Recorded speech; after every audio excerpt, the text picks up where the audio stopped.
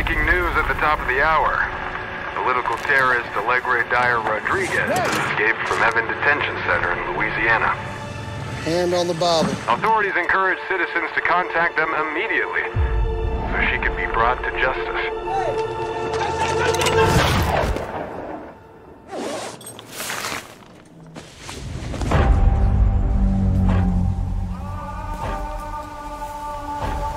This place was selected to hide you until the extraction team can get us out. the hell is this?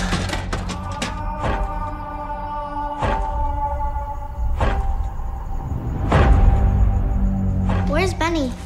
Benny got out. I say we take our chances and get out of here. Nobody's going outside.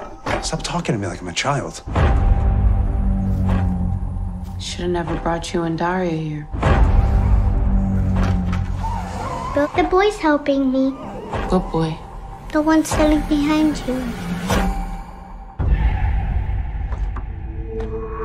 You need to take back your power.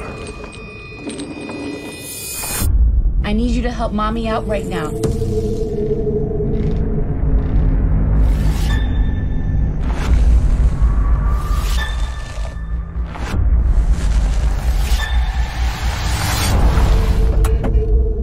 Seen any of these political terrorists?